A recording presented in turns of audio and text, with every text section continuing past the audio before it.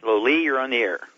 Hello, Dr. Wallach. I'm 74 years old, and I've got a little uh, high blood pressure, not excessively, but I've uh, had a couple of cardiac stents put in uh, my heart arteries, and uh, one was about 20 years ago, one was about five years ago.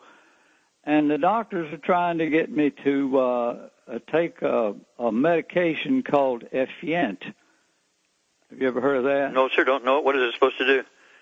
Uh, it's supposed to prevent uh, further clogging of the arteries. Mm-hmm. Uh, let's see, the technical, the, the uh, chemical name is prasugrel.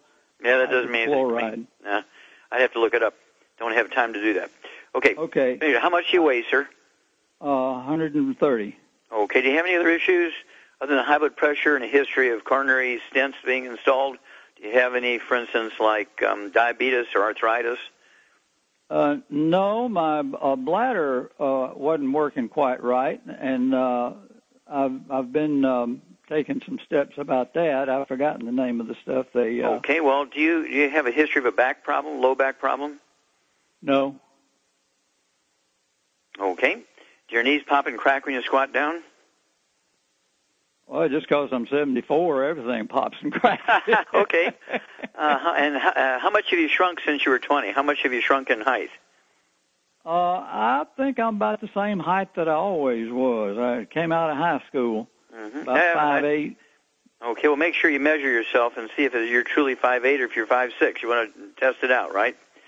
Uh, uh, yeah. Trust but verify. You want to check it out. Uh, I would be amazed if you're exactly the same height as you were in, in high school.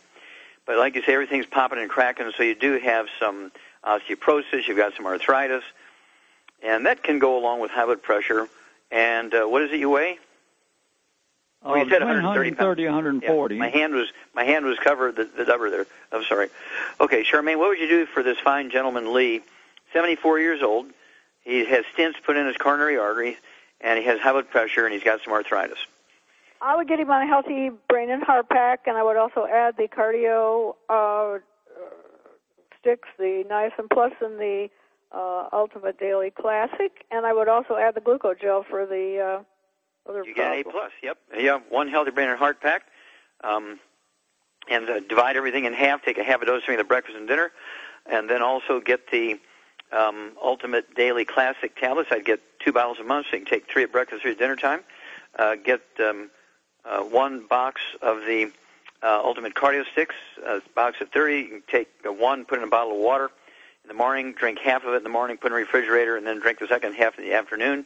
Get one bottle a month of the Ultimate um, uh, Niacin Plus, uh, one bottle a month, so you can take one at breakfast, one at dinner time. And the Niacin Plus is time release and non-flush.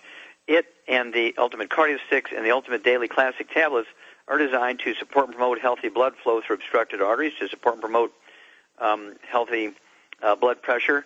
And so, and uh, well, Shar, what causes blocked arteries? Is it cholesterol?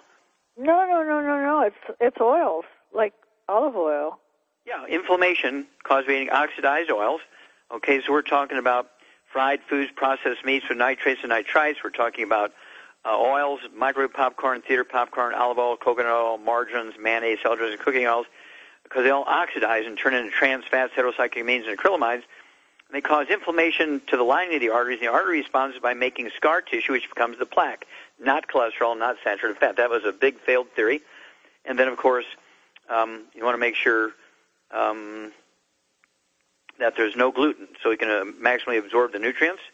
Okay, um, that would be you. You want to make sure, Lee, that you're no gluten, no wheat, barley, rye, and oats. That would include any dog food in the house, cat food, bird food, fish food, spouse, partner, renter, mother-in-law, anybody in the household